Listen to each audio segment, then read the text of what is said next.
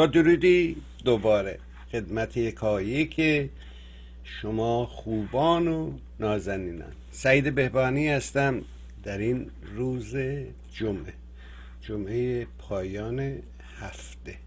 جمعه 22 فوریه است و سوم اسفند است.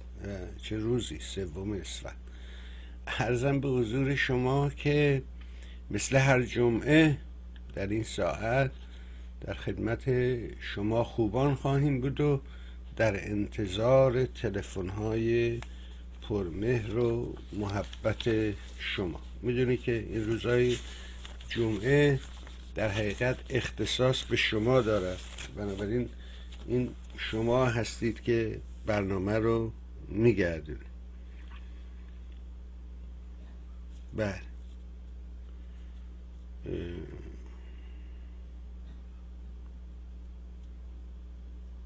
بسیار. بذار از همین شروع کنیم. بذار از همین نامه میکایل شروع کنم. میکایل جان ممنون. بازپخش برنامه رو دیدم و خیلی خوشحال شدم که عزیزانی تلفن زدم به حال صحبتی که نشد آن هم راجع به حمایت مالی بود. به حال اگر فضولی نباشد به شما این را بگویم که روزهای جمعه این کمک رسانی باید را نهادینه کرد میان تیوی خرج داره باید پشتیبانی مستمر بشود. امیدوارم که پیامت رو بشنون دوستان. بله مسئله این ماه هم بها ماه سختی است و همطور که به عرضت رسوندم دوستم نداشتم از اینجا این داستان رو شروع کنم. یعنی از وضعیت حمایت مالی. این میزگونمون درست کنیم و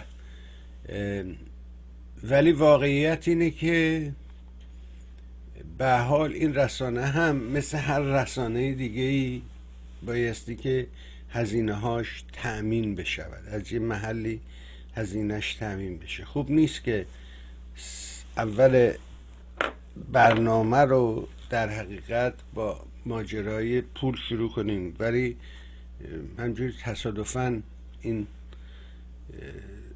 دسته این کاغذهایی که ایمیل هایی که در حقیقت بود همجوری از حسن تصادف این اومد رو. این ماه که به حال ما نیاز به سه هزار دلار الان در این لحظه داریم. اگر می توانید تو این زمینه مدد رسان باشید. دوستان زیادی محبت کردن ازشون ممنون و سپاسگزار. ولی کجا کفاف دهد این باده ها به گرفتاری ما. بالاخره بوده یکی دو هفته دیگه تلویزیون میهن وارد یازدهمین سال فعالیتش می شود ده سال پشت سر می‌ذاره و میشه یازده ساله. و خیلی جالب بود این سیر این میهن تیوی. و در حقیقت توهمی که من داشتم که بله این سری و سیر درست میشه و ما تا بریم و مردم همجور منتظرن که فقط من بیام.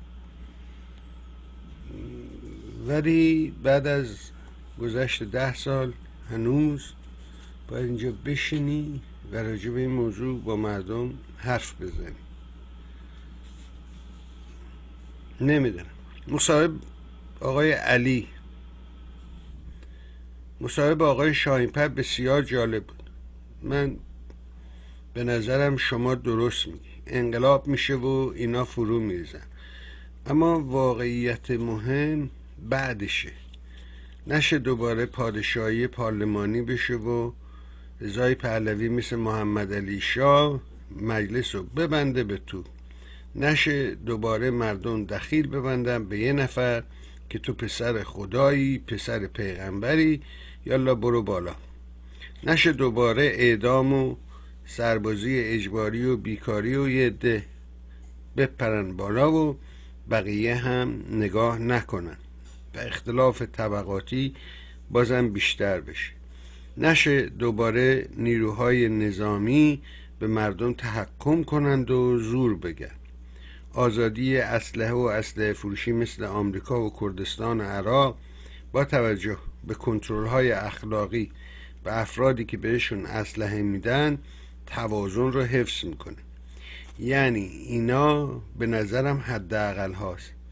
دقیقا ظلم رفت شاه رفت ولی ظالم بدتری جایش آمد. 98 درصد این جامعه متاسفانه جاهل بودن و رأی دادن به این بابا. چون سیده پسر پیغمبر و امامش مشکیه. این بدبختی ما تو این دراه های سرنوشت نباید اشتباه کرد. و الا دوباره روز از نو روزی از نو. نمی‌دونم. واقعا علی اینایی که شما میگی آقای علی چطوری اتفاق خواهد افتاد؟ آیا اینطوری است که میگی یا مدل دیگری خواهد؟ خب بذار ببینیم. یه لحظه شما دوست من به من اجازه بده من این صدا رو درست کنم برمیگردیم در خدمتت خواهیم. به.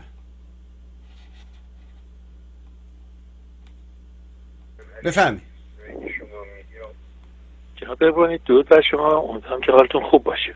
ممنون از شما. یه خواهش می‌کنم. می‌دونید که این جلیق زرد ها الان رفتن توی پانزدهمین هفته که دارن تظاهرات می‌کنن. در فرانسه بله. در فرانسه بله.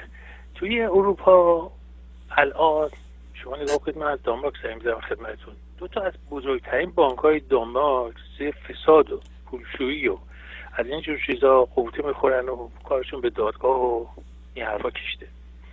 در اروپا یه جور اون زیر میرا همیشه زیر میزای کارهای عجیب و غریبی انجام میدن که بعد که متوجه میشه آدم می‌بینه که چقدر فساد هم می‌تونه حساب در همه جا گسترش داشته باشه شما نگاه کنید الان توی فرانسه که این همه مردم دارن چیز می‌کنن تظاهرات می‌کنن اینا خواسته هایی که دارن وقتی آدم نگاه می‌کنه می‌بینه اون همین کارهایی که به مرور انجام دادن بله. همین لابی هاشون همین که به حساب کلی چی میگن کارهای غیرقانونی که آروم آروم انجام دادن بعد این مردم اینجور چیزها رو دیدن الان چگونه؟ این همه مدت هنوز نتونستن برگردونن رو برسونن سرشون. یکی از چیزهایی که هست مثلا می‌بینید شما می‌بینید که توی شرکت های تبلیغاتی اینا در هر کجای دنیا که شما نگاه بکنید ببینید هر جایی رو که دولت ساخته باشه بخواد به کسی اجاره بده به مناقصه می‌ذاره. الان تمام متروهای تمام اروپا آلمان دانمارک سوئد فرانسه انگلستان. حالا انگلستان زیاد توش چیز نیستم اینا که اون چجوری میده اونم همینجوری شما می‌بینید مناقصه در این نیست. رابطه در اینه. رابطه است در اینه که این چیزی که با پول شهروندای آمریکا شهروندا ساخته شده مالیات دهنده بابتش پرداختن اونها همینجوری مثلا فضاهای تبلیغاتی مترو برلین مترو فرانسه مترو دانمارک مترو سوئد و جای دیگر رو حتی سوئیس بدون مناقصه به اون که دلشون می‌خواد میدن. حالا چجوری چیلاویه چجوری چه ژن برتریه؟ الله علم و وقتی مردم یواش یواش اینجور چیزا که می‌بینن خب مردم عادی هم که همش نمی‌تونن چیز کنن. الان در دانمارک یه خانمی رو دارن محاکمه می‌کنن. 110 میلیون کرون آروم آروم تو حساب خودش ریخته بود در آفریقای جنوبی و بعدا چیز شده. نگاه می‌کنیم یادم میدم با این بنده خود از 110 میلیون دلار 110 میلیون کرون به چه دردش می‌خوره؟ ولی بس که می‌بینه هر کسی داره یه جوری می‌زنه اینم زده. سر الان دادگاهش شروع شده. بعد یه چیز دیگه هم که هست ولی این اینا حقشون می‌خواد. ولی بعدیش اونجاییه که اینا جهتشون میشه ضد یهودی بودن. اونجایی که میشه ضد یهودی بودن چند وقت دیگه میشه ضد خارجی بودن تظاهرات. و اینجاست که اتفاقا همه چقدر باید سعی بکنن اینایی که تظاهرات می‌کنن اینا به نظر من اگر این راه ادامه بدن که بخوان ضد یهودی ها بکنن. بعد میشه ضد خارجی ها بعد حالا بیا درستش کن که ببین تا کجا این ادامه خواهد. باید اینجا رو محکم آدم قاطعانه اینا که تظاهرات می‌کنن جلوش مرز داشته باشن. نباید اینجوری بشه. بعد موضوع دیگه خدمت شما خواستم عرض بکنم این که این چیزها این نوع حساب کارها ادامه ده الان 800 نفر اروپایی ها که به داعش پیوسته بودن باید بگیرن اینا رو محاکمه بکنن. بعضیش میگن ما نمی‌خوایم تبعیتشون لغو می‌کنن. ولی قانون در بعضی از ممالک میگه نه آقا باید رو بیاریم ببینیم چی بودن چی جوری بودن چرا رفتن. ازشون حمایت بکنیم ببینیم چرا اینجوری شد. باشون گفتگو بکنیم ببینیم چرا اینجوری شد. ولی وقتی آدم نگاه می‌کنه می‌بینه خیلی از این اصلا دلشون نمی‌خواست شاید اون بردن بس که این یه, یه یک تبعیضای قائل میشن که طرف اصلا سوت میشه میره به یه جاهای دیگه. هیچ وقت نباید کارشون تایید کرد. خیلی هاشون هم جنایتکارن. چقدر هم بعضی خوب کاری می‌کنن که مثلا حالا آدما از روی احساس میان بهتر راه ندن الان اینجا آمارگیری که می‌کنن یه سری میگن نباید راه داد. ولی تمام قانون گذارا میگن اتفاقا باید اووردشون محاکمهشون کرد و باهاشون برخورد کرد. مثلا میگم که این طریق زردهای بند خدا در فرانسه هم خیلی از این بیادارتی ها حساب عدم چی شفافیت ها رو می‌بینن و اینجوری میریزن تو خیابون و حتی دوستان عزیز مثل جلال ایجادی که استاد دانشگاه هستن اگه فردا برن تو دانشگاه توش سر کلاس درسشون به چند تا از این دانشجوهاشون میگن آقا به خاطر این فقط رو شفاف بشه شما برید نگاه کنید برید به همین متروهای شهرهای خودتون زنگ بزنید بگید ما می‌خوایم یه جا اجاره بکنیم برای تبلیغات پخش کردن. بعد شما ببینید با اونا چجوری برخورد می‌کنن؟ چرا؟ چون که از اونایی که این کار هستن نبودن. این عدالت اجتماعی هر کجا که به پاش بلنگه تبعات بسیار بدی خواهد داشت. و ممنونم. خدا به خیر بگذرونه. بله متشکرم. متشکرم. روزتون بخیر مرمت خواهش می‌کنم خدا بله. این نکته ای که الان در اونجا این تبدیل شده است به یک ماجرای یهود ستیزی این ممکنه به قول شما خطرناک بشه و تبدیل بشه به ضد خارجی. البته این تاندانس همیشه وجود داشته داره و تمام این ماجرای نجات پرستی و اینها یه چیزیه که تو تمام این ممالک وجود داره. تو مملکت ما هم سر به فلک می‌کشه. یه نکته ای که دلم می‌خواد امروز شما راجبش حرف بزنی این استش که بپرسیم ببینیم که بالاخره شرایط مملکت ما در یک حالت بحرانیه. من هنوز هم در تحیرم که چطوری ممکنه یه آدمی مثل جنتی بیاد و بگه که شما مردم به کارمندان میگه که شما برید جلو رئیساتون که دارن دزدی می‌کنن بیستید. یعنی یه جور دعوت به قیام است. خب این نشون میده که نظام حاکم توان اداره مملکت رو نداره. دیگه فساد اونقدر همه جا رو فرا گرفته که همون داستان سلیمان است و عصای معروفش که دارن بر سر سکو ایستاده بوده داشته سخنرانی می‌کرده. چه می‌کرده؟ سکته کرده مرده. تو از حیبتش کسی جرات نمی‌کرده نزدیک این بشه. تا اینکه موریونه ها عصا رو می‌خورند و سلیمان فرو میریزد. الان موریونه تمام ارکان این نظام و عصای این سلیمان رو خورده. سلیمان در لحظه سقوط است. ولی من همیشه گفتم که ما دو تا موضوع داریم. یکی موضوع براندازی یکی موضوع فروپاشیه براندازی یه کار با برنامه است. با برنامه انجام میشه. ولی فروپاشی یه امریست که بدون برنامه داره انجام میشه و به من اینو بنویسم.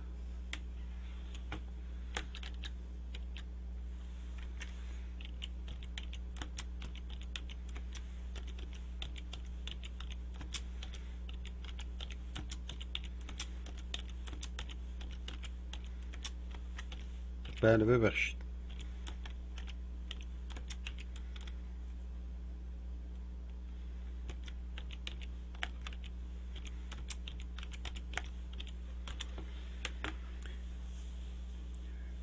دو تاست. یعنی گفتم یکی فروپاشیه که خودش فرو میریزه بدون برنامه که عاقبت خوشی ندارد.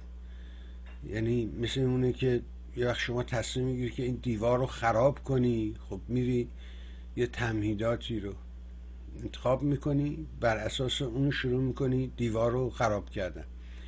یه وقتی شما ناقافل خوابیدی کنار دیوار نشستی سایه یه دیوار رو سرت خراب میشه. این معنا و مفهوم فروپاشی و براندازی رو من فکر می‌کنم اینطوری میشه روشن کرد.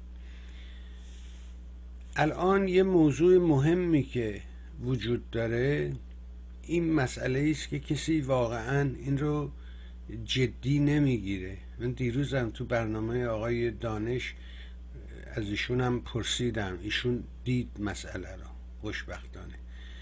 و مسئله جنگه. این نظام الان در به درد مدل جنگ میگرده. یه جنگی بشه. نه جنگ بلند. همون که طالبشه بیان بزنن از هوا بزنن و اینها. و این فکر می‌کنه که از این طریق ممکنه که مردم رو جمع بکنه. و منم فکر می‌کنم این اتفاق حتی در میان اپوزیسیون هم این اتفاق خواهد افتاد. یعنی همین اپوزیسیون در هم و بر هم شما می‌بینی یه مرتبه شکافی درش ایجاد میشه و میرن به دنبال اینکه آی میهن ما اینجور شده اونجور شد میرن پشت نظام قرار می‌گیرن. بنابراین ما توی یک لحظه بسیار خطیر تاریخ میهنمون قرار گرفتیم. میگم چل سال راجب این لحظه حساس همه حرف زدن. ولی هر موقع هم که گفتن درست گفتن اینجوری نیست که غلط گفته باشن. ولی واقعا شرایط بدی پیش روی ما قرار گرفته. امروز یکی از این امام جمعه ها در زاهدان ظاهرا گفته که من شهید شدم برکنارم کردن و الان می‌بینید چند تا از این امام جمعه ها رو برکنار کردن. و میگه که این یه لیست بلند بالاست خامنه ای هم رئیس این لیست لیست دست اونه و همه رو داره قلع و غم می‌کنه. این نشون میده که ته و برنامه جدی وجود ندارد. این بلوشویی که توی خود ارکان نظام وجود داره. اینکه بازم تکرار می‌کنم. اینکه یارو جنتی بیاد بگه آی مردم بیایید علیه رؤساتون قیام کنید. خودشون مردم رو تشویق کنن به شورش. خب ما نداریم هم چیزی رو در هیچ کجای دنیا ما چنین چیزی رو ندیدیم.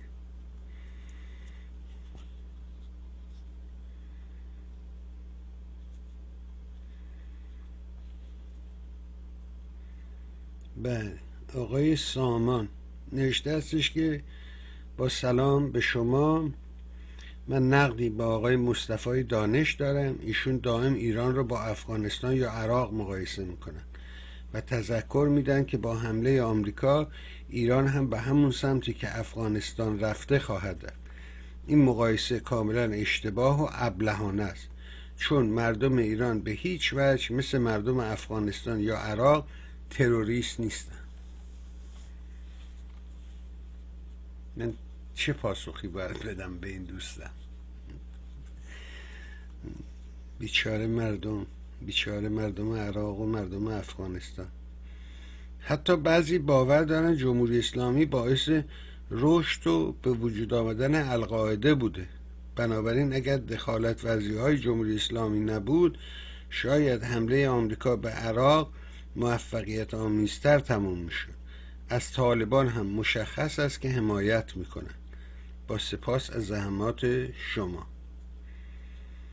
من هم نوشتم نازنین شما تاریخ و جغرافیا و ادبیات را دنبال کنید زیباتر از این نقدی است که نوشتید. اولا افغانستان از ایران امروز به باور من خیلی جلوتر است.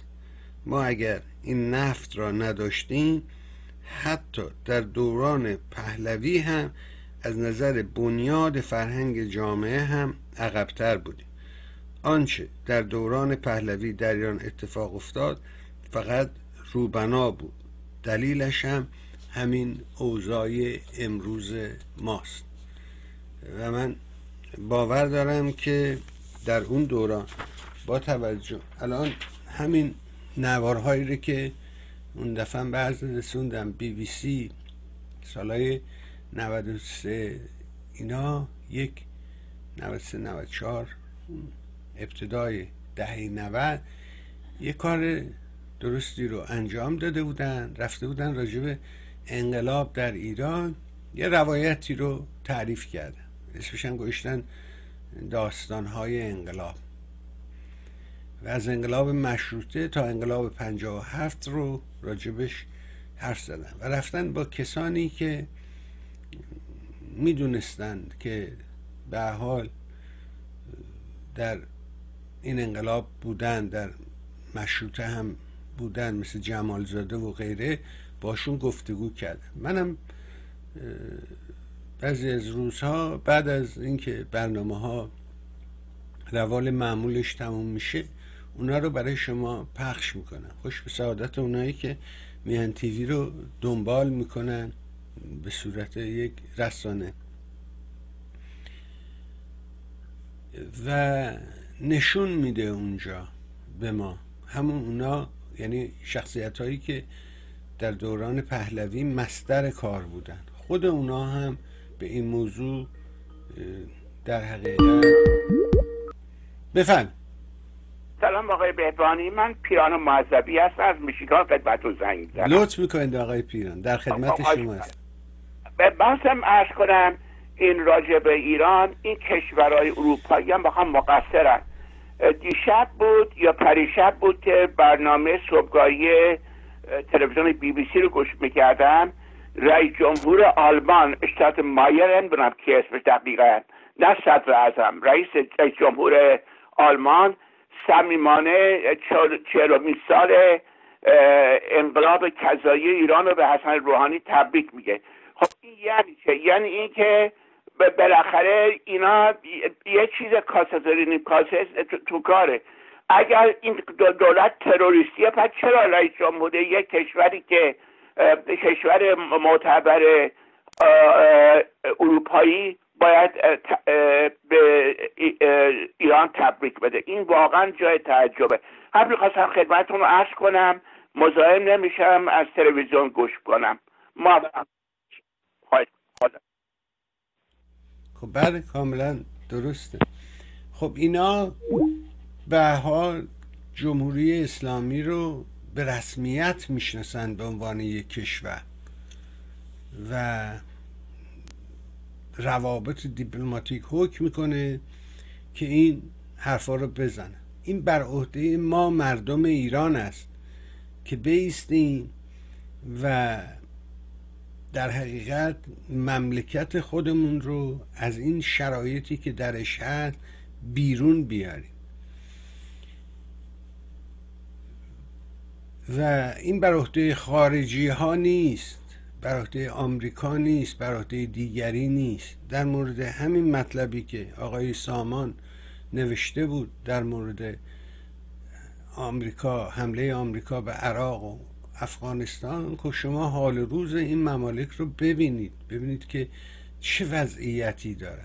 یادمه که دکتر ودی تو همین برنامه های ما روزگاری که اینجا هفتگی برنامه داشتن امیدوارم بتونیم باز هم از دانش این مرد بزرگ و تجربیاتش بتونیم استفاده کنیم و بهره ببریم. من خوشحال میشم اگر که بتونیم یک برنامه رو با آقای ودیعی دوباره ظرف من فکر می‌کنم باشون صحبت کردم هفته بعد یکی دو هفته دیگه یه گفتگو با ایشون داشته باشیم. ایشون همون موقع می‌گفتن که به جای این لشگر کشی به جای این کارها و در داکمنت هایی هم که خود آمریکایی ها درست کردن نشون میدن فیلماشو از وضعیت افغانستان. یادم در یه داکمنتی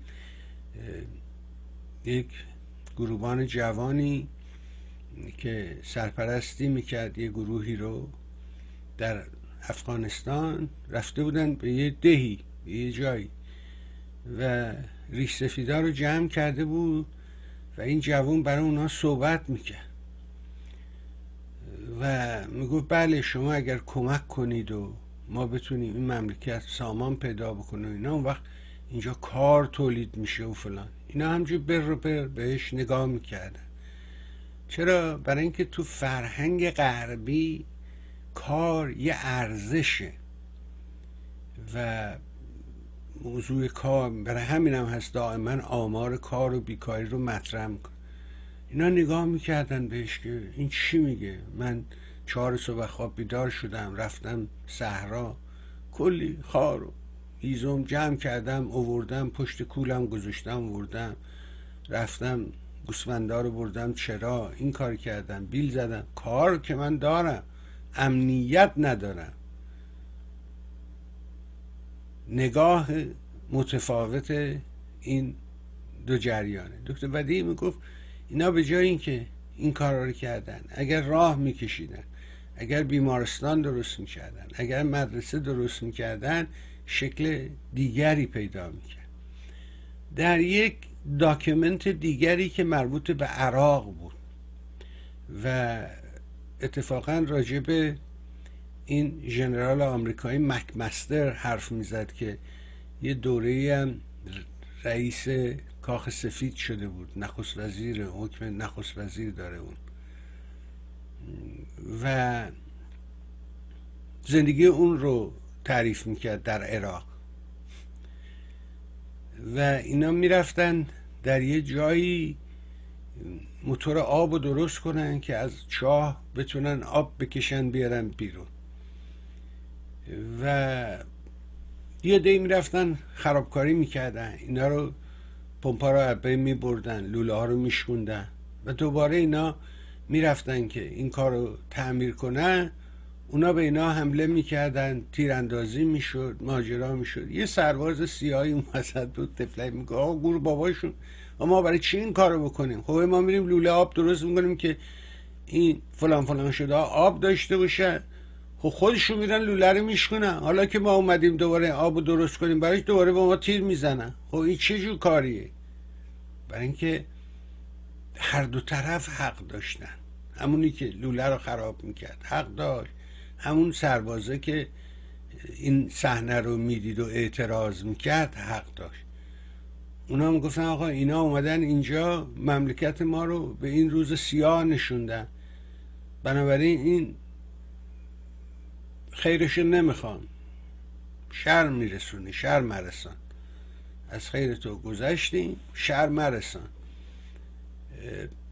ماجرا از جای دیگه گلالوده.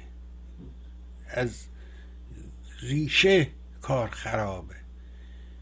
آیا میشه این رو درست کرد؟ به باور من بله شدنی است.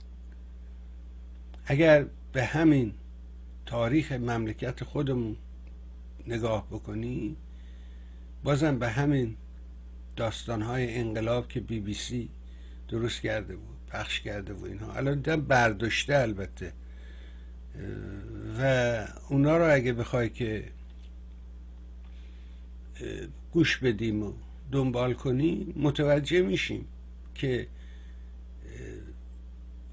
حتی اردشیر زاهدی که دیدم بهش حمله می‌کنن و متاسفانه اینها میگفتش که بله من با علاعزت حرف زدم و او هم میل داشت که آزادی بده احزاب را آزاد کنه و وقتی که حزب رستاخیز شد من بهش گفتم آقا این کار غلطه او هم ناراحت شد ولی پذیرفت. بعد که نامه اومد به سفارت من به کارمندای خودم گفتم هر کی دلش خواست امضا کنه هیچ اجباری در این کار نیست. هر کی خواست امضا کنه. و داروش اومانم میگه روح شاد واقعا آدم بزرگی بود این مرد. گفت اولا که این حرف حرف بی خودی بود. هیچکس کارت صادر نمی‌کردن برای عضویت در حزب رستاخیز که که بپرسن شما کارت داری یا کارت نداری؟ پس تو عضو حزب هستی یا عضو حزب نیستی؟ اگه نیستی پس می‌گیریم باباتو در میاری هم چیزی که وجود نداشت. تبلیغات سو در این زمینه کار می‌کرد. و میگم اگر نگاه بکنیم به تاریخ مملکت خودمون به دوره فرض کنید رضاشاه نگاه بکنی مثل هر پدیده ای در این عالم هم نکات مثبت داره هم نکات منفی داره. بستگی به این داره که از کدام نقطه وایسدی داری این نگاه می‌کنی؟ پرسپکتیو شما کدام نما رو به شما نشان می‌دهد؟ خب می‌بینی این آدمه ظرف 14 15 سال مملکت رو از اون نقطه کشید اوورد بالا. شناسنامه به هم اون داد رادیو برامون درست که خیلی کار کردن. دانشگاه درست کردن مدارس رو درست کردن. همین مدرسه مکافات بوده داشتن مدرسه. وقتی حسن رشدی مدارس رو درست می‌کرده در تبریز می‌زدن مدرسه ها رو میشکوندن آتیش می‌زدن در و پنجرهش رو میشکوندن. گفتن اینجا خونه اجنه است.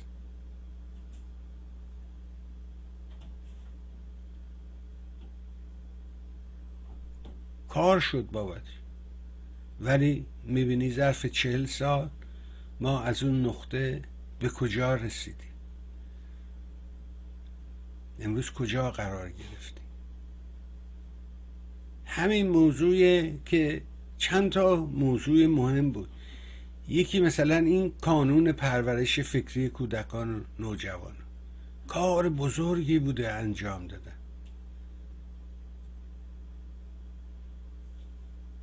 بعد اون وقت اومدن گفتن اینا همه کمونیست بودن و همه چپ بودن و همه اینجور بودن و در حالی که واقعیت قضیه این نیست.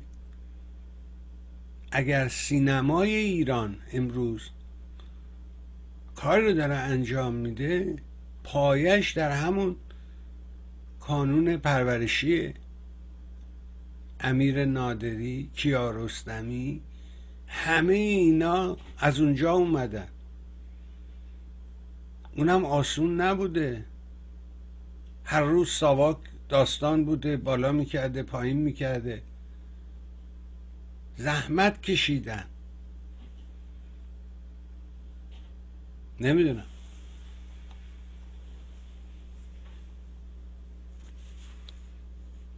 نوشته شما نیستی آقای ببانی ببینی چه دیوون خونه ایه تهران. مسیحا و بایا رو گرفتن واسهشون کلاس اعتقادات برگزار کنن. به زور مسلمونشون کنن. یه فقر شدید و قحطی اومده. مردم تو صف گوش همدیگر رو کتک می‌زنن. کار هم که اصلا نیست. یه وضعیت قمر در اغربیه بدون برنامه. خامنه ای مثل گوسفند میره جلو. اصلا معلوم نیست چی می‌خواد بشه.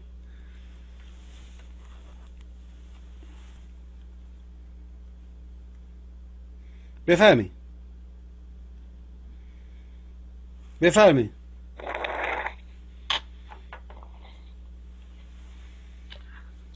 بفرمایید الو سلام آقای خوب هستین؟ خیلی ممنون. شما خوبی خ- قربان تو من علی هم از تهران آقای علی از تهران. بفرمایید علی جان ایوانی من سوال در مورد ام بی اس داشتم محمد بن سلمان اینکه سفرهای آسیایی داره.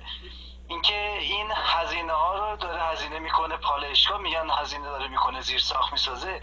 می‌خوام ببینم رفتی به اون قضیه تحریم های ایران داشت که می‌گفتن نفت غیر ایرانی رو پالایشگاه های اینا نمی‌تونن چه می‌دونن استفاده کنن و اینا با خاطر اون داره زیر ساخت می‌سازه. یعنی داره زیر ساخت می‌سازه که نفت ایران جایگزین کنه یا نه؟ سوالم این بود. بعد می‌خواستم از برنامه خوبتون تشکر کنم. اصلا برنامه آقای آلبرت و جناب دکتر دانش. واقعا یکی از بهترین برنامه های تحلیلی هستم. ممنونم. خدا نگهدار. متشکر نمی‌دونم والا خدا نمی‌دونم. والا اطلاع شما نمی‌دونی.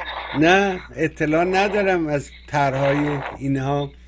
که واقعا چه قصدی دارن اما اون چی که معلومه است تمام قصدشون ماجرای همطور که دیروزم آقای دانش به درستی اشاره کرد وقتی که ترامپ درخواست کرد که شما یه ناتوی عربی درست کنید خب می‌بینی که مصر چندان تمایلی به این کار نداره که بره زیر بیرق عربستان.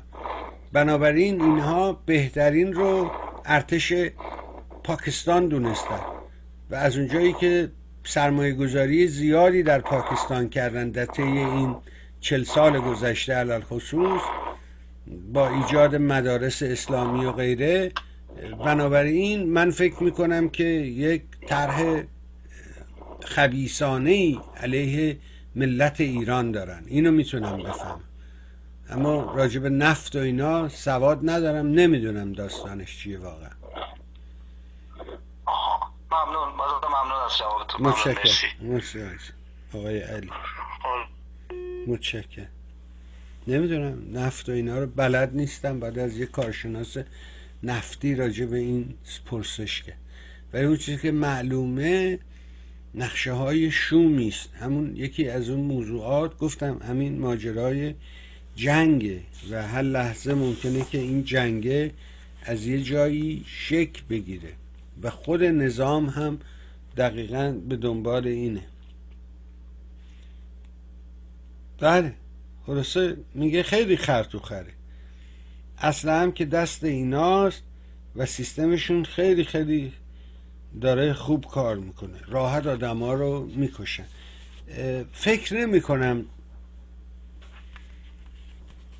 اینطوری بماند. به لحاظ اینی که خود این, این حرف جنتی که میگه که جلوی رئیساتون بیستید که اینها اینجورن نشون میده که ناکارآمدن. اینا سی سال پیش اینجوری نبودن 20 سال پیش اینجوری نبودن ده سال پیش هم اینا اینجوری نبودن. تو هشتاد و هشت رو دیدیم. اینجوری رفتار نمی‌کردن. بفرم. درود بر تو عزیز من. لیلای عزیز. بفرمایید لیلا. نازنین خواستم ببینم که شما اول گفتین دهم مارچ سالگرد تلویزیونه نه؟ بله بله بله. خب میگن تا میگن بچه گریه نکنه مادر نمی‌دونه که اون شیر می‌خواد یا نه. و شما خواهش می‌کنم برای من یه عقیده یک پیشنهادی دارم. بذار من این تلویزیون خودمون خاموش کنم که صدام دوتا نشه. ببخشید. برای تک تک برنامه هاتون هر کس بالاخره یه طرفداری داره. من که تمام برنامه هاتون رو دوست دارم.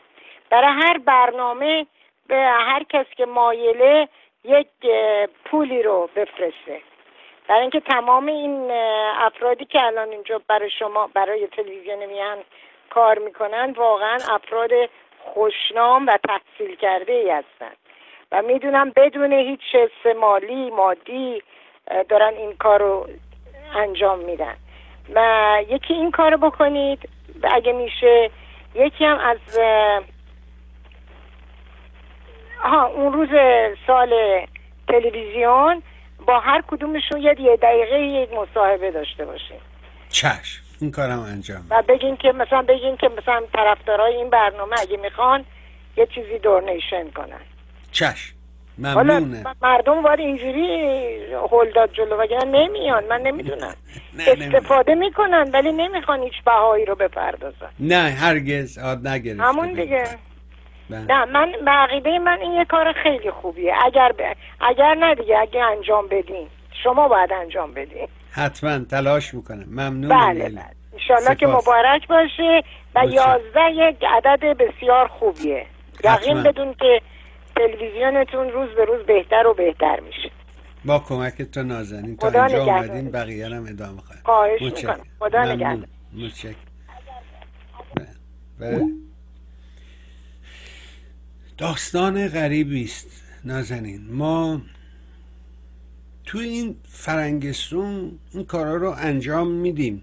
یعنی ولی نوبت به خودمون که می‌رسه یه جور عدم اعتماد اعتماد نداریم. و این کار رو در حقیقت رسانه ها باید می‌کردن که درست عکسش رو عمل کردن. خیلی ها به من میگن که آقا شما پنل بذارید و آدما بیان اینجا با هم مناظره کنن. من میگم ما ظرفیت چنین کاری رو نداریم. تو این شرایط نیستیم. و این به نفع دشمن تموم میشه. هر کدوم از ما اگر یه خنجری به یکی بغل دستمون فرو کنی دیگه سربازی جا تو صحنه. و این کار شک گرفته ها. یعنی در این سالها همینجوری بوده. این اتحاد و اتفاقی که راجع به شرف می‌زنن که چرا صورت نمی‌گیره؟ عدم اعتماد. این اعتماد بایستی که دو طرفه باشه. نمی‌تونه فقط یه نفر به طرف دیگه اعتماد کنه. اونم باید به اون اعتماد کنه. و این وجود نداره. در اینجا این کار رو انجام میده. ولی نوبت به خودمون تو جامعه خودمون که می‌رسه یهو سرسم می‌زنه میسته. عقب عقب میره. عدم اعتماد.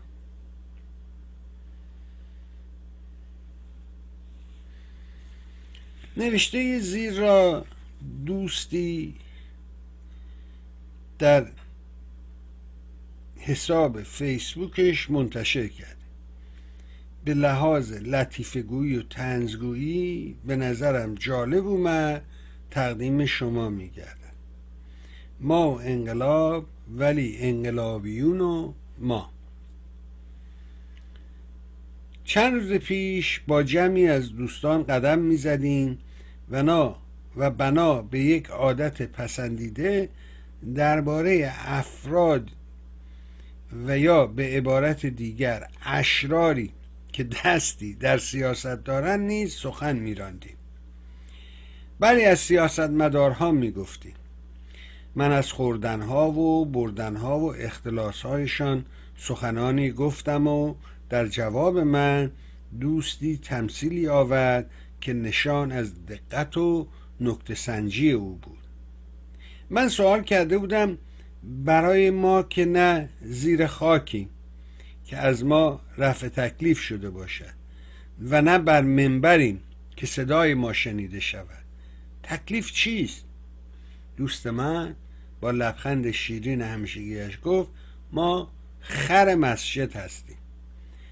پرسیدم خر مسجد دیگه چه سیقه است دوست من به نقل از مرحوم پدرش ادامه داد و گفت در گذشته وقتی قرار می‌شد سیغه مسجد بر زمین وقفی خوانده شود و کار ساخت مسجد را آغاز کنند مشتعد یا ملایده در حالی که بر سوار بود وارد زمین مسجد می‌شد. از همان ابتدای سال خرداری نقش بود. از همان ابتدای ساخت مسجد خر دارای نقش بود و در ادامه با حمل مساله ساختمانی نیز در ساخت مسجد مشارکت می‌کرد. تمام کارها و بارهای اصلی و مهم در ساخت مسجد از حمل سنگ گرفته تا خاک و آجر و غیره همه توسط اولاخا انجام می‌شد. اولاخایی که این سعادت نصیب آنها می‌شد و توفیق رفیق راهشان شده و باربر مصالح مسجد می شدن دارای احترام خاصی نزد مردم بودند از آنجا که ساخت مسجد واجب کفایی بود. نه ببخشید. بله اولاخایی که این سعادت نصیب آنها می شد و توفیق رفیق راهشان شده و باربر مصالح مسجد می شدن دارای احترام خاصی نزد مردم بودند. مردم شهر با دیدن کاروان اولاخا اشک شوق بر چشمایشان می نشست از آنجا که ساخت مسجد واجب کفایی بود کسانی که کنار خیابان ایستاده و کاروان خرها را نظاره می کردن شوق می کردند و از آنها رفع تکلیف می شد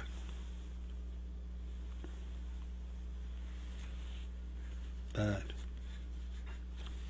آنقدر شور و شوق داشتند که حتی پیرزنهای شهر که توانایی مالی چندانی نداشته تا به ساخت مسجد کمک جانی و مالی بکنند در مسیر را با تمام توان به حمایت از خرهای زیر بار مساله آمده با جوی پوسکنده از آنها پذیرایی می‌کردن.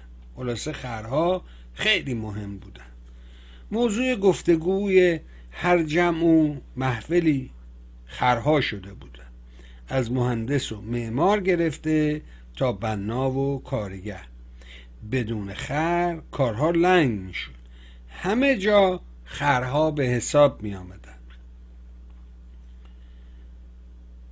وقتی اولاخها وارد مسجد می شدن بناها و معمارها به استقبالشان می رفتن. کارگرها بعد از هر دفعه کار بار را تخلیه می کردن دستی به سر و صورت اولاخها کشیده تیمارشان می کردن و برای ادامه کار آمادهشان. اولاخها روزگار خوبی را پشت سر می گذاشتن. هم احترام داشتند و هم خوراک. حال و هوا چه از جهت مادی چه از جهت معنوی خوب بود. همه چیز عالی و کار ساخت مسجد کم کم به رو به پایان بود. الاخا خسته اما راضی بودن در آخر فرش های مسجد نیز بر روی کول خرهایی بود که وارد مسجد می شدن. وقتی مسجد فرش شد خرها در دالان مسجد به تماشا ایستاده بودند که ملا فریاد برآورد خرها را مسجد بیرون کنید مسجد که جای خر نیست مسجد که جای خر نیست. کسانی که جای مهر بر پیشانی داشتند به سمت خرها یورش بردند تا از مسیر دالان به سمت درب خروجی خرها را هدایت کنند. یکی از الاخا گردن چرخان تا ببیند در مسجد چه میگذرد که مورد اصابت لنگ کفش زاهدی قرار گرفت. دیگر از آن لحظه بعد هیچ کس از زخمهای تن اولاخا که نپرسید هیچ برخه بلکه زخمی هم بر دلشان نهاد. خرها واقعا کاری و توقعی نداشتند. فقط دنبال آشناهان قدیم خود میگشتند. ملا معمار بنا کارگرایی که همیشه زخمایشان را تیمار می‌کردند. گویا کسی را نمیشناختند. پیدایشان نمی‌کردند. کسی هم آنها را نمیشناخت. پس خرهای مسجد با چشمانی گریان دلهای شکسته و بدنهای زخمی دالان مسجد را پشت سر گذاشتند و در دل با خود گفتند که جواب خدا را چه باید بگوییم با این سایبانی که برای این از خدا بیخبران ساخته ایم خیلی زیبا بود نبود؟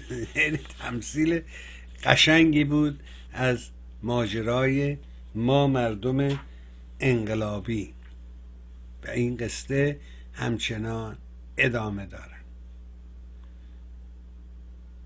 گفتم که ما کردیم. اگر کار امروز لنگ می‌زنه رسانه ها نقش مهمی رو بازی کرده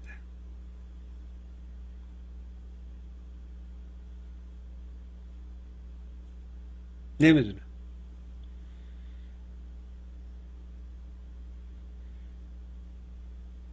منتظرم شما زنگ بزنید و منو راهنمایی کنید. اما نه ساعت سه بعد نشم یه دوستی شنبه زنگ زده بود و من هم با آقای منفردزاده در یک مهمانی بودم. و پرسیدش که طرف وقت داری؟ گفتم بله. بفرمایید.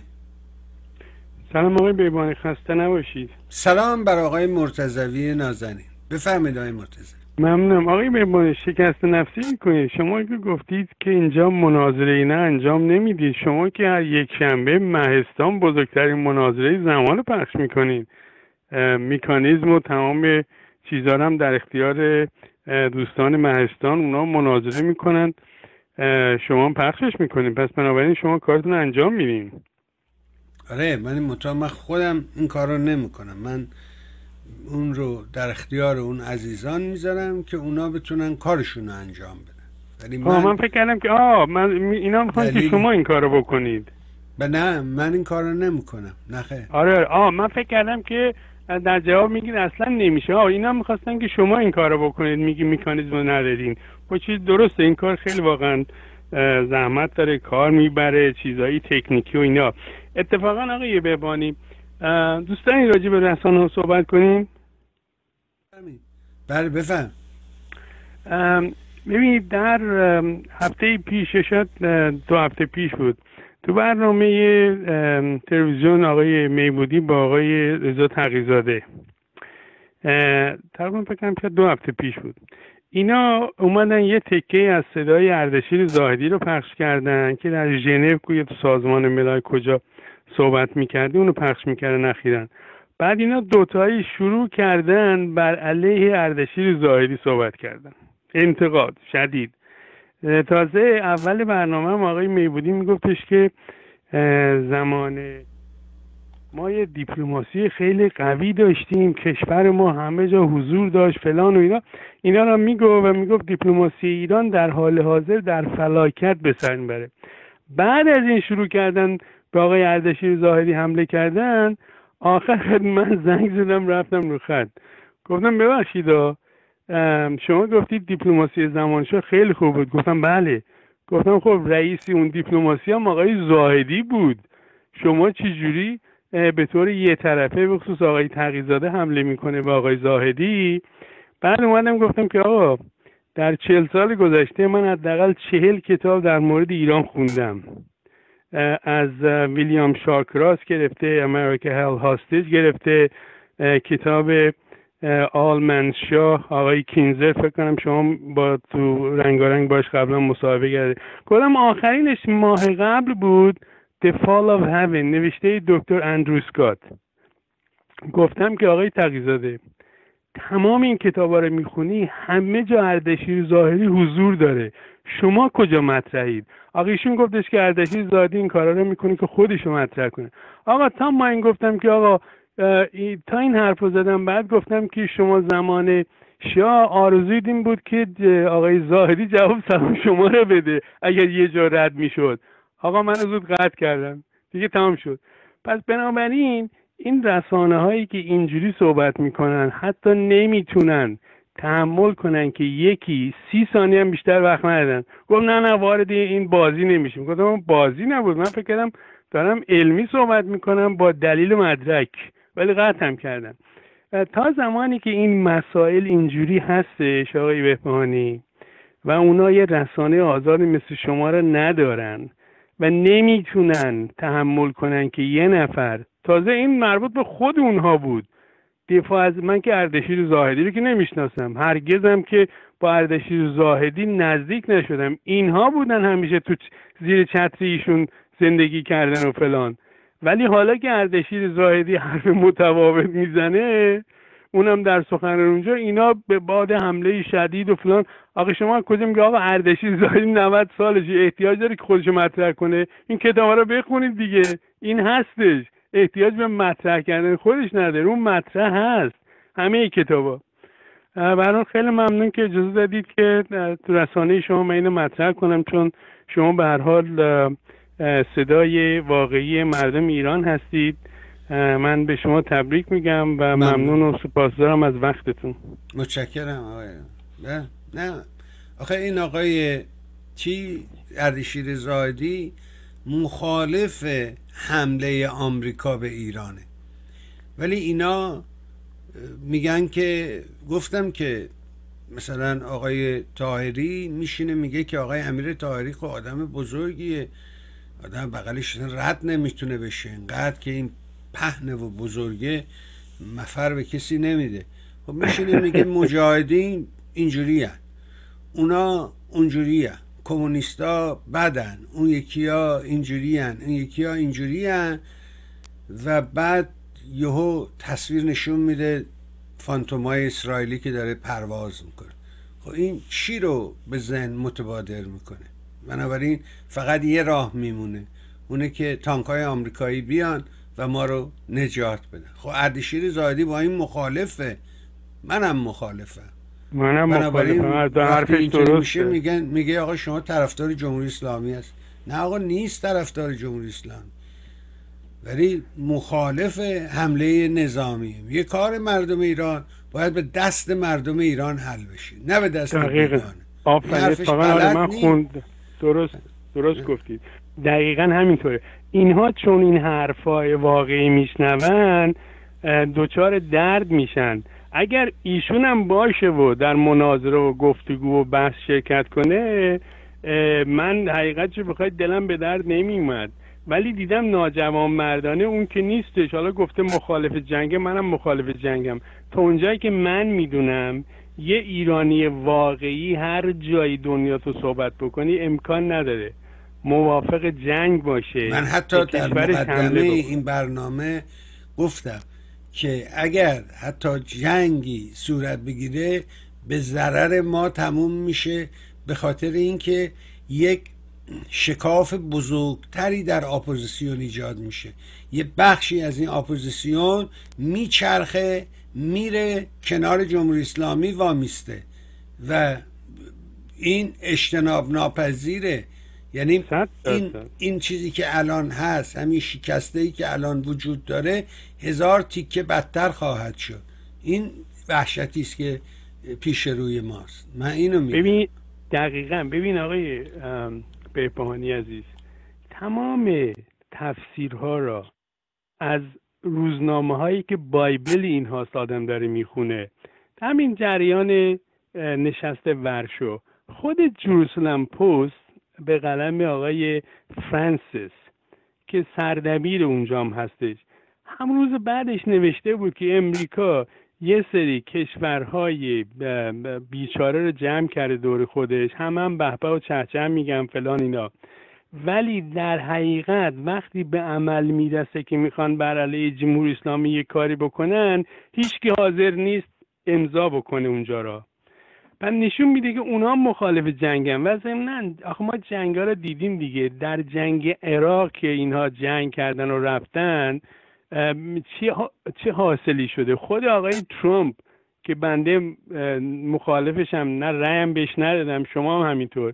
ایشون میگه همیشه میگه الان هم تکرار میگه میگه هفت تریلیون یعنی هفت هزار میلیارد دلار ما هزینه کردیم چیزی گیر ما نیومده. حالا این همه کشت و کشتار نمیگه. این فقط از نظر مالی میگه دیگه چون این به به پول علاقه داره. حالا جریان انسانی شد عراق افغانستان همینطور لیبی همینطور. لیبی شده یه کشوری که هیچکی نمی‌تونه بره اونجا. می‌خوام بدونم که اونایی که فکر می‌کنن اگر امریکا بره جنگ بکنه ایران رو می‌گیره تحفل اینا میده. سخت در اشتباهند در چلبی ها دیدیم. اتفاقا یکی از گرفتاری های امریکا اینه که ما جنگ کردیم حالا جمهوری اسلامی اونجا جولان میده. در تمام شده رفت دیگه. یعنی چون با واقعیت روبرو نبوده اونهایی که این کار کردن صرفا جنبه احساسی بود. یارو اومد و بوش و همه اینا را راضی کردن که این کارو بکنن جنبه احساسیش تمام محاسبات همه غلط بود. به اینا گفتن دادیدید که فرانسه از همون اولم مخالف بود. به اینا گفتن ای بابا اینا اروپای قدیم اینا به درد نمی‌خوره فلان. ولی دیدیم که اروپای قدیم می‌دونست. که این کار به ضرر خواهد بود و همون هم شد. اینه این دوستای به قول معروف آتش بیار ما چون جنبه احساسی رو در نظر می‌گیرن هیچ وقت با واقعیت روبرو نیستن. اینه مشکل ما. به حال ممنونم از وقت و نمی‌خوام زیاد وقت می‌گیرم چون دوستای دیگه هم ممکنه صحبت کنن. قربونتون برم. خدا حافظتون بکنم آره متاسفانه همینو دارم میگم دیگه. این نوع کارا به نظر من غلطه. یعنی این نوع مناظره ها اینها به ضرر ما تموم میشه. ما به نفع ما نیست. خنجر به روی همدیگه کشیدن دشمن رو شاد می‌کنه. من اینجوری می‌بینم صحنه رو. و بایستی ما سعی کنیم نقاط مشترک هم رو پیدا بکنیم. راجب اشتراکات حرف بزنیم. راجب اون که شکاف ایجاد می‌کنه و اینا کمکی در حقیقت به ما نخواهد کرد. من همه رو همینجوری می‌بینم که دارم بیان می‌کنم. ممنون از شما. متشکرم ازت. به حال داستان پیچیده است و تا بیدار نشیم و تا تاریخمون رو نخونیم. ببین یه مشکلی که وجود داره اینه که ما تاریخمون رو بلد نیستیم و زیر فشار تبلیغات دشمن قرار گرفتیم. ما هممون میشنویم این حرفو که انقلاب رو سازمان مجاهدین سازمان چریک ها بودن چریک ها بودن مجاهد من از آقای پرویز یعقوبی یه مطلبی هم آقای مستاقی نوشته جدیدن هم در سایت خودشون پژواک ایران هست هم تو بخش مقالات ما هست. من خواهش می‌کنم بخش مقالات ما رو جدی بگیرید و بخونیم. کار ما از خواندن میگذرد. پرویز یعقوبی از در حقیقت مجاهدین اوله. با اونا بوده. با جناق مسعود رجوی بوده یه دوره و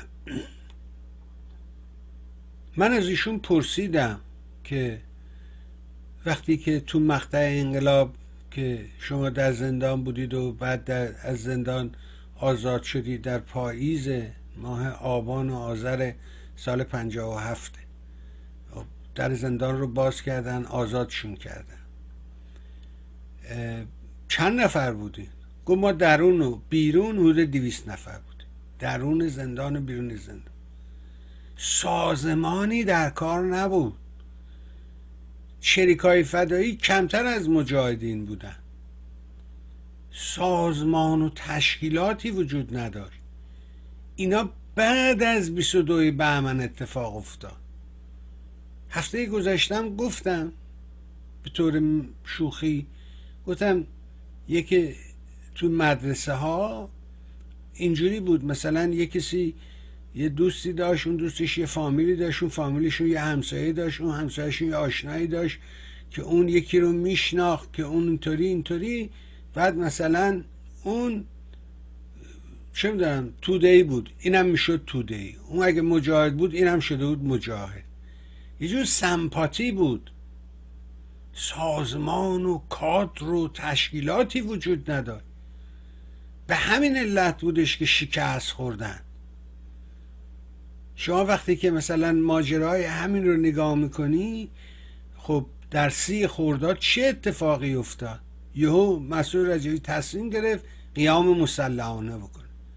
آدم برای اینکه بخواد قیام مسلحانه بکنه باید تمهیدات رو در نظر بگیره فکر کنه نیروهاشو بره باهاشون بابا قصه آشورام همینه. مگه شب یارو چراغا رو خاموش نمی‌کنه میگه هر کی دلش نخواست بره ما فردا جنگه کشته میشیم.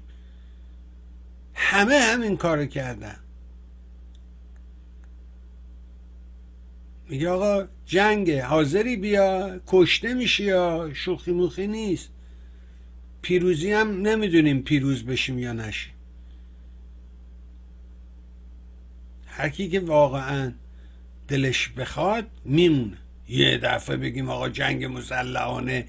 همه هم معلومن سر کلاس نیمکت سه نفر روی نیمکت نشستن. یکیش تودهیه یکیش فداییه یکیش مجاهده. میز جلویی پیکاری طوفانه نمی‌دونم آرمان مستضعفان همین شکلی بود دیگه. همه بچه ها هم تو کلاس هم دیگه رو میشناختن. خونه همو بلد بودن. شکست می‌خورن همه رو می‌گیرن قلعه می‌کنن. بچه های مظلوم مردم رو بی دلیل ادام می‌کرد بعد عکسش روزنامه می‌زد می‌گفت اینا رو کی می‌شناسه؟ حتی اسمشون رو نمی‌دونستن چیه.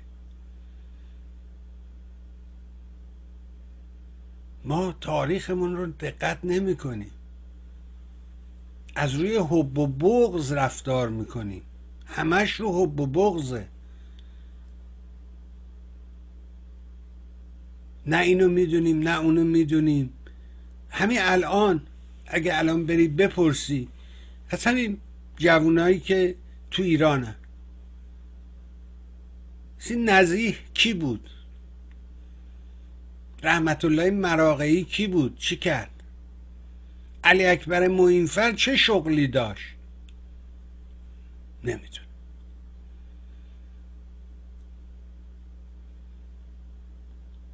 بعد میگه آقا چه سوالایی شما می‌کنی؟ چه فرقی می‌کنه؟ خیلی فرق می‌کنه. باور نمی تو همین جریان پنجاب و هفت که با هم می‌رفتیم کازینو و بار و دیسکو و این ور ور توی وسط دیسکو یهو می‌خواست طرفداری کنه از آقای خمینی و میگه آقا وسط دیسکوتک که بحث اینا رو نمی‌کنن که. توی کنسرت گوگوش بود همینجا همینجا. سی سال بعدش. علی افشاری وایستاده بود. با یه عده داشتن بحث می‌کردن که میروسن موسوی بهتره یا کروبی.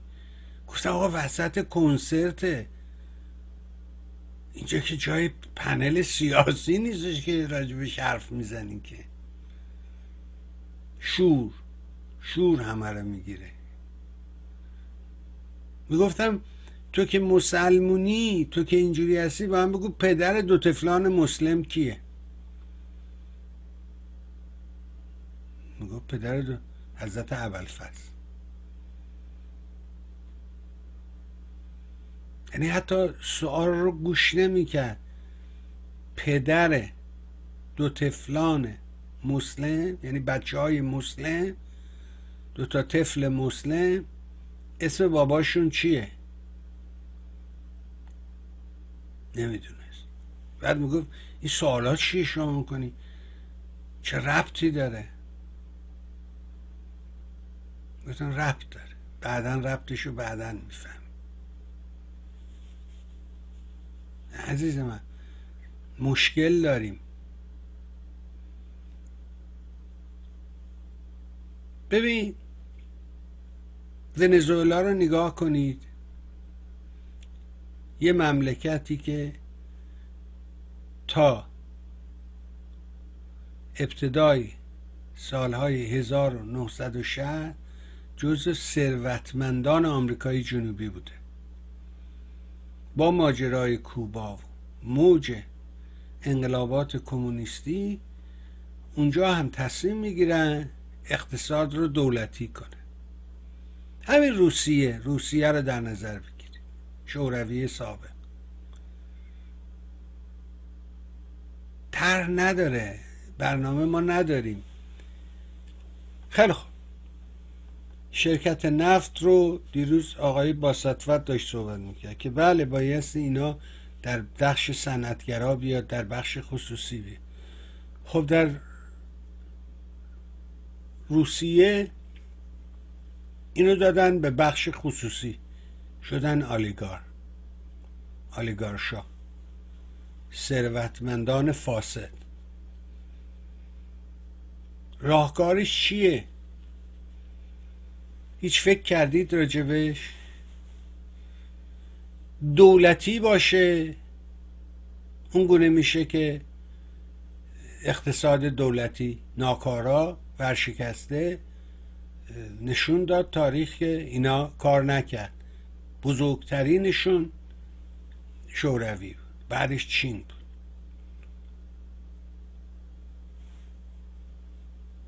چینی ها گفتن حالا همچی سرخ سرخ هم نبود زیاد رنگش مهم نیست. کار به اینجا رسید. گفت رنگش مهم نیست. یعنی اگه سرخ هم نبود نبود.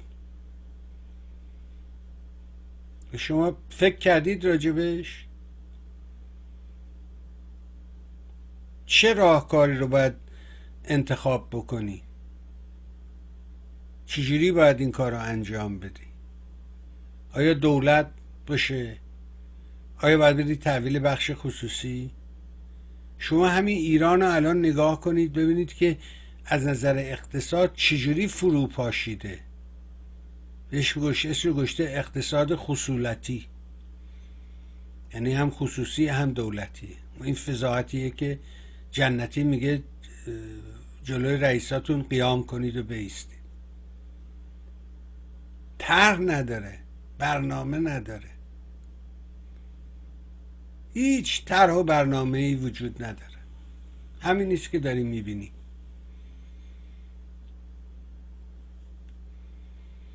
دکتر ودیعی در کتابش نوشته بارها در اینجا گفته که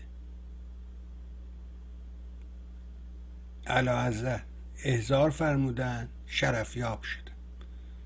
اولیا حضرت تشریف داشتن آقای آتابایی هم حضور داشتن. علا حضرت تقریر فرمودن من یادداشت کردم. گفتن که کاسه گدایی ور ندارید برید جلو این کشورها و عربا و اینا. من برای مملکت آبرو درست کردم. هنوز چشمشو نبسته بود که دیدیم رافت دادن رفتن سراغ صدام و عربا و غیره و زاله. کاسه گدایی گرفتن ازشون پولی بگیر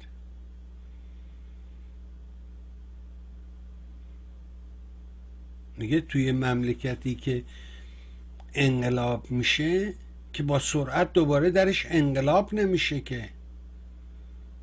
بنابراین شاه فرموده علا فرموده برید بشینید فکر کنید برای سی سال دیگه چیکار باید بکنید.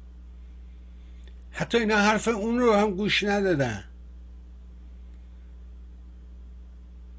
خب دیدی بارها دیدیم اینا رو در طی این سالها. به رضای پهلوی میگه چاکر از جان نسار فلان فدایی هم. اما شما نباید این کارو بکنی.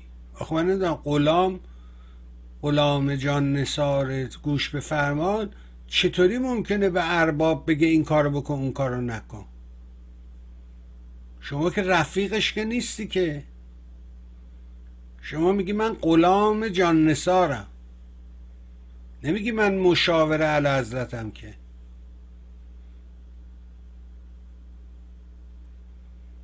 تو دیروز داشتیم با آقای یغمایی حرف می‌زدیم. راجب این سالهای بیست داره حرف می‌زنه الان. چی میشه که محمد رضا که در بازدید از یکی از همین کارخونه ها همون دوره ای که جوان است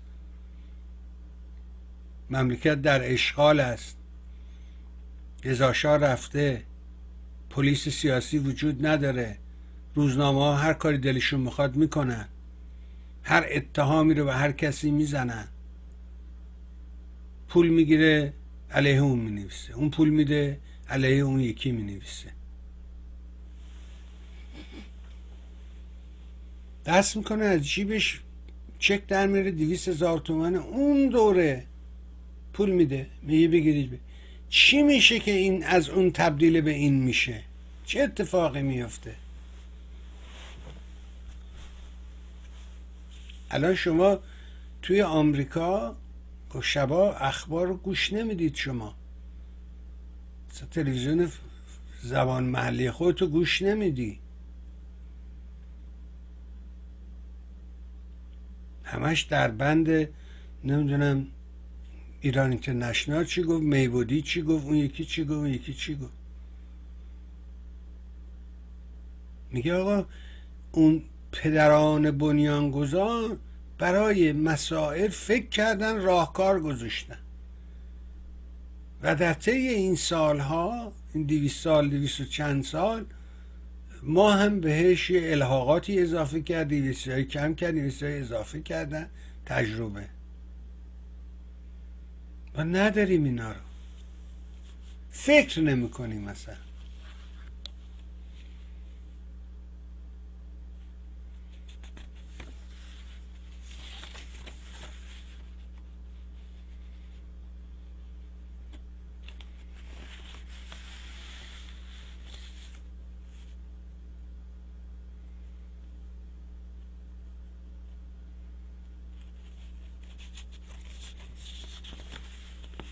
کنیم مثلا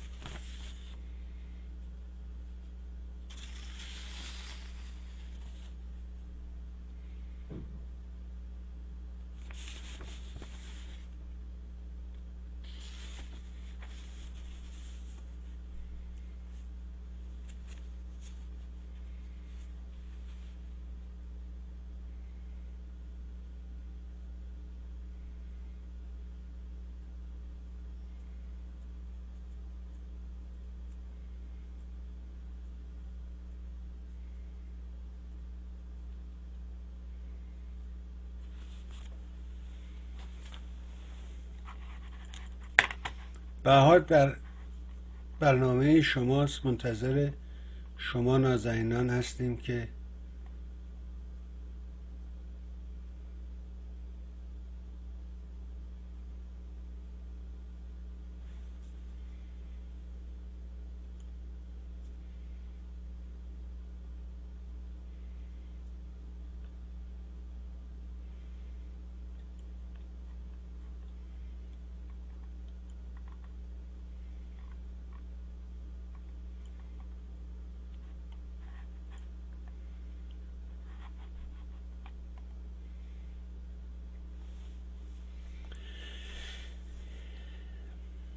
بله.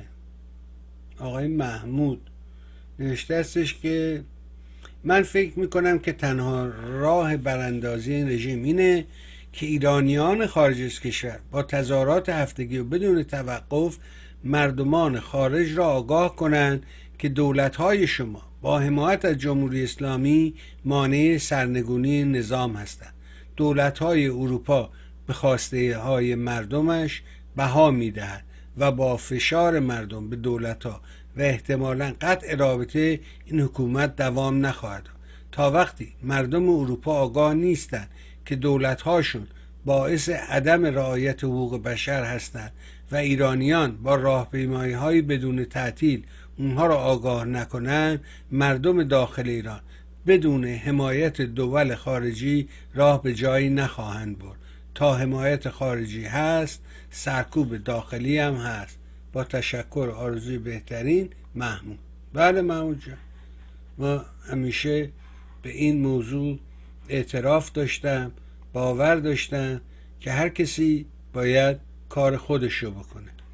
و ما کار خودمون رو انجام نمیدیم. ما در انتظار غیریم یک کسی دیگه ای برای ما یک کاری رو انجام بده. من خیلی برنامه رو دوست دارم. بالاخره این نوع برنامه ها حالا هفته ده تا کمتر یا بیشتر راهکارهای سرنگونی این رژیم رو بررسی می‌کنه و اصلا خودش مایه اتحاد فراحزبی و نزدیک شدن مردم به هم است مجاهدین عادت بر این دارند به زور, به زور نیرو جذب کنند در همین تهران و کسی هم نره فوش و کسی هم نره فوش و بد و بیرا میدن که تو در شعن ما نیستی و البته برای خود من پیش اومده. ولی کن حزب باید اتوماتیک مردم رو با حرف خوب و قشنگ جذب کنه. با حرف جدید. و حالا تو این برنامه ها این مسئله دیده میشه که هم جنبه آموزشی داره هم جنبه خودسازمانی و اتحاد. تلویزیون میهن به اعتقاد من یه ابزار فراحزبی است و چون توسط دولتی مثل آمریکا یا انگلیس هم اداره نمیشه و کاملا خصوصی است قابل اطمینان تمام ایرانیات مخصوصا اگر مثل برنامه های ایران فردا حالت مناظره هم پیدا کنه بهتر میشه. به قول احمد کسوی به قول شهید احمد کسوی همه چیز ابتدا کلمه و حرف است. سپس تبدیل به عمل میشه. همین که شما چند تا برنامه سبب بشه جوون ایرانی کمتر پرنو نگاه کنه و دچار خطر بشه رسالت خودتو انجام داده نمی‌دونم. اگه ما کار پرنو می‌کنیم. بفهمید. نمی‌دونم.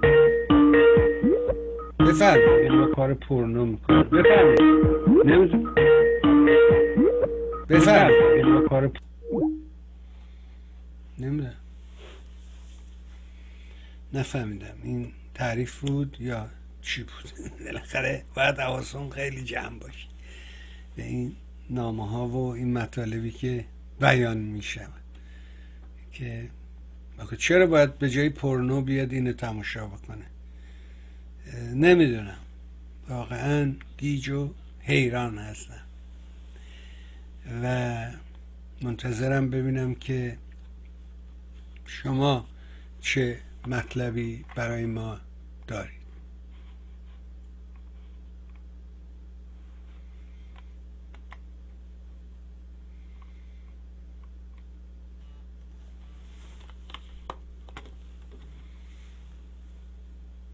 بفهم سلام آقای بهمن. هستم. سلام آقای بهمن اجازه بده ببینیم این تلفن چی میگه. بفهمید بفهمید آقای بهمن. با من هست. بله. بله. آقای بهبانی اولا که واقعا خسته نباشی روز به کامتون باشه. به زودی هم که این سال تمام میشه. چهل سالم رفت و هیچ خبری نشد. چه خبری باید می‌شد میگه بالاخره این همه ماهی می‌گفتیم روزای اول اومدیم گفتیم دو ماه دیگه نمیرن دو ماه دیگه نمیرن. پس به اینجا رسید به چهل سال.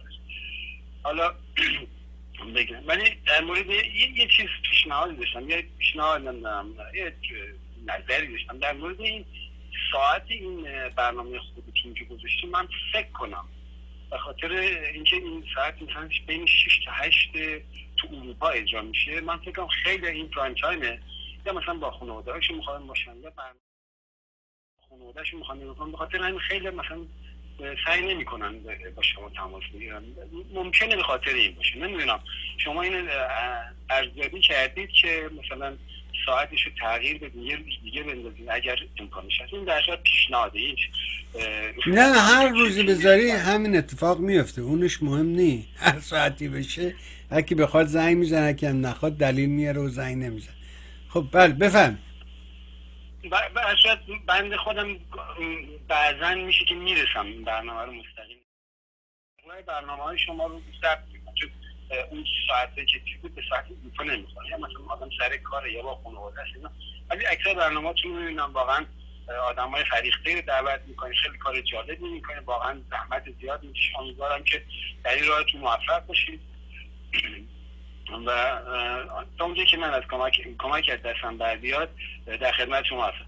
اگر اون برنامه ای هم که هفته پیش یا دو هفته پیش از دوستان گفتن که مثلا به صد نفر جمع بشن مایی مثلا 100 دلار ندارم پس شاید اگر یه همچه برنامه چیز پیاده کردی اسم نیست همین الان هم برای شما یه 100 دلار حواله می‌کنم و البته متاسفم که یه مقدارش برای مالیات میره. اگر میشه روش دیگه وجود داشته باشه که مستقیم به دست خود شما برسه شما چیز منو داری ایمیل منو داری. ایمیل من پست که من بهتون بگم. من از این طریق گفتم که شما مالیات ندید.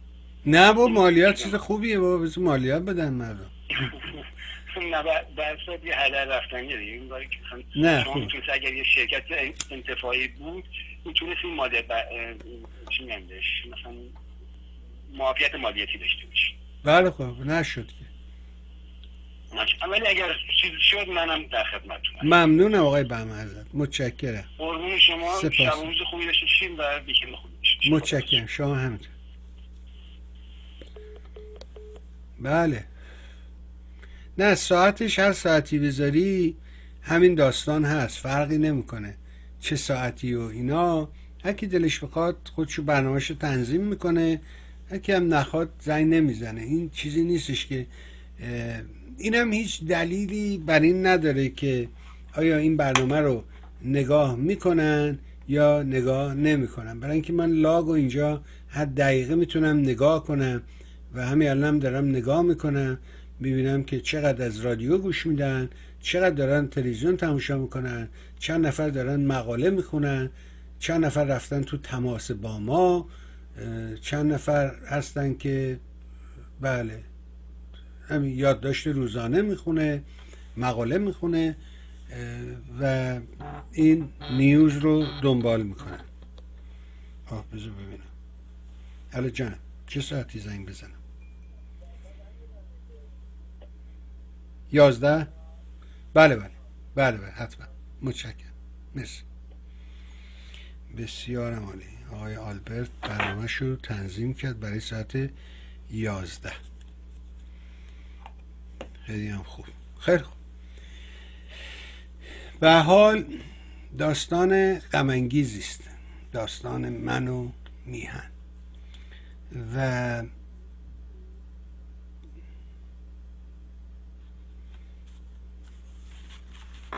نوشته برنامه جمعه شما چهار صبح ماست. اگه دوست داشتی بخون.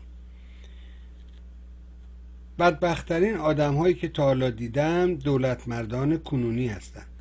چپ راست اصولگرا اصلاح طلب پولدار فقیر کارمند کاسب دانشجو خشکی صادر کننده و وارد کننده حسن عباسی و راقی پور و همه از قیافه این سالوس های حق باز متنفرن. مقام و شهرت و ثروت به چه قیمتی؟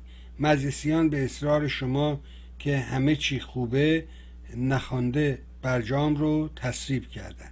راستی چرا از زمان رضاشاه به مجلس میگن گاوداری؟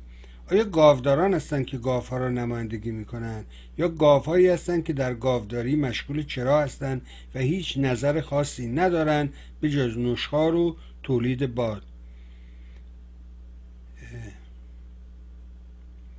یا آن محل قبلا گاوداری بوده؟ خلاصه ظریف که با پول مردم بیشتر عمر در آمریکا میچریده بر اساس سریال های 24 و هوملند و مادام سکرتری و سیبیل گرو گذاشت که داداش امضا رو بزن که من این چشمابی های چپچوس رو می‌شناسم. خنگتر از این حرفانو ما داریم دو دره میکنیمشون. خلاصه راقی پور هم از اون ور نخ داد و که رئیس جمهور بعدی حتما یه زن است و نماینده ها با زنهای سیغهی گازشو گرفتن سمت شمال و مردم هم با پخش شیرینی و بزن و بکوب پرداختن. سرباز نیروی انتظامی هم دستور گرفت که زیر گوش کسی نزن امشب و شیرینی بخور. قدم اساسی متلاشی شدن شیرازه از همان شب برداشته شد. البته نطفه چند تا بچه سیغهی اون شب گذاشته شد. نمی‌دونم. اونهایی که به کار ما اعتقاد دارن یا ما که به عدل خدا معتقدیم که شبی که ظریف بلنگو به دست پشت اتاق شاه مریض با سرطان آد اربده می‌کشید. بله همون شب کذایی نطفه آخرت و عاقبت سیاهیش بسته شد. البته شاید این جماعت پیرو فیلسوفان یهودی جنگ جهانی دوم هستند که خدا را معمار بازنشسته میشمارند البته همیشه دست غیب می‌رسه و به خیر میگذره. دست غیب رو بعضی میگن آدم فضایی یا بشقاب پرنده یا مادر طبیعت دلش میسوزه یا چرخ جبر و گردش زمین که تغییرات میاره. ما هم میگیم فرشته ها به امر خداوند. در هر صورت تغییر اجتناب ناپذیره امیدوارم به خیر و خوشی باشه. به عبرت تاریخی آقایان حکومتی. آخه این شرایط به این همه فوش اغنیا و ناله و نفرین مردم ستم دیده میارزه. بابا یه نفر به اینا بگه جون مادرتون دست از سر این مملکت و مردم برداری. برید با همه پول و مال و منال و وزیران گردن کلفت و دوز عشق و حال کنید. دیگه این سرزمین طاقت نداره. جون مادرتون برید. تو رو به ازاداری امام حسین و خون شهدا که جلوی ما براشون گریه می‌کنید و روزه می‌خونید برید. بابا برید. همه چیز رو از این مملکت گرفتید. دست دست داداشو عهد و عیار رو بگیرید و برید سوئیس عشق کنید. ما هم قول میدیم نفرینتون نکنیم البته فقط نفرین. به قول به خدا قول میدیم به خدا قول میدیم که این کار رو نکنیم. کون سرباز ملبورن اول اسفند. باشه اینم برای شما خوندم. اما اینم جالبه که اقتصاد مال خر است. شاه به وزیر دستور داد که تمام شطورهای کشور را به قیمت ده سکه طلا بخرند وزیر تعجب کرد و گفت اعلی ازت حتما بهتر می‌دانند که اوضاع خزانه اصلا خوب نیست و ما هم به شطور نیاز نداریم. شاه گفت فقط به حرفان گوش کن و مو به مو اجرا کن. وزیر تمام شطورها رو به این قیمت خرید. شاه گفت حالا اعلام کن که هر شطور رو 20 سکه می‌خریم. وزیر چنین کرد و عده دیگری شطورهای خودشون رو به حکومت فروختن. دفعه بعد سی سکه اعلام کردن. عده دیگه وسوسه شدن که وارد این عرصه پرسود بشن و شطورهای خودشون رو فروختن. به همین ترتیب قیمت ها رو تا 80 سکه بالا بردن و مردم تمام شطورهای کشور رو به حکومت فروختن. شاه به وزیر گفت حالا اعلام کن که شطورها رو به 100 سکه می‌خریم. و از آن طرف به عوامل ما بگو که شطورها را به 90 سکه به مردم بفروشن. مردم هم به طمع سود ده سکه ای بار دیگه هماسا آفریدن و هجوم بردن تا شطورهایی که خودشون با قیمتهای پایین به حکومت فروخته بودن رو دوباره بخرن. وقتی همه شطورها رو فرو... وقتی همه شطورها فروخته شد حکومت اعلام کرد به علت دزدی های انجام شده در خرید و فروش شطور دیگر به ماموران خود اعتماد ندارد و هیچ شطوری نمی‌خرد. به همین سادگی خزانه حکومت از سکه های مردم ابله و تمهکار پر شد و پول کافی برای تأمین نیازهای حکومت و داروغه و دیوان و تفریح آقازاده و حکومت تأمین شد. وزیر اعظم هم از این تعبیر شاه به وجد آمد و این بار کلید خزانه را در دست داشت که پر بود از درآمد قانونی و شرعی. این وسط فقط کمی نارضایتی مردم بود که مهم نبود. چون اکثرا اصلا نمیفهمیدن از کجا خوردن. این داستان قدیمی است ولی هر روز برای ما آن هم در قرن 21 تکرار میشه. مردمی که در صف سکه دلار خودرو لوازم خانگی سودهای بانکی بالا سهام انواع بورس و غیره هستند خودشون هم نمی‌فهمند که در نهایت چه کسی برنده است. آنها فکر می‌کنند که زرنگند و برنده هستند ولی همیشه درگیر, همین تلاطم هستند و هیچگاه به ریشه مشکلات و قطع آن فکر نمی‌کنند. حکومت صالح از راه مالیات عادلانه کسب درآمد می کند و اقتصاد سالم باید ثبات نسبی و پایدار داشته باشه تا مردم ضمن رقابت آزاد و قانونمند با کار و تولید مشخص و ارزشمند درآمد داشته باشند. نه با دلالی بین خودشان و حکومت. عجیب این است که ما ظاهر امروزی داریم با عقل و سرنوشت گیر کرده در قصه های قدیمی. فیروزه از تهران. خیلی فیروزه را ممنون از تو که این قصه رو برای ما خوندی. اینم نمی‌خونم برای اینکه زیاد به نظرم مفید فایده نیست. از اینکه دنبال کردی ازت نهایت سپاس دارم. به حال ماه فوریه. دیگه به پایان رسید و فردا و پس فردا تعطیله و ما همچنان غرق در این معادله بیپولی.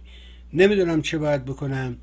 اگر نمی‌دونم راهی باشه بتونید کمک کنید ازت ممنون و سپاسگزار میشم و از اینکه مهر می‌کنید میهن رو حمایت می‌کنید. بازم از شما تشکر می‌کنم تا فرصتی دیگر. فقط خواهش می‌کنم سایت میهن رو به دوستانت معرفی کن. شبکه های اجتماعی رو فراموش نکنید. لینک ها رو لایک کنید و شیر کنید. اپلیکیشن میهن رو هم دانلود کنید. مشکل مالی هم که به امان خدا رها شده و نمی‌دونم چیکار باید بکنم. نمی‌دونم. متشکرم از شما.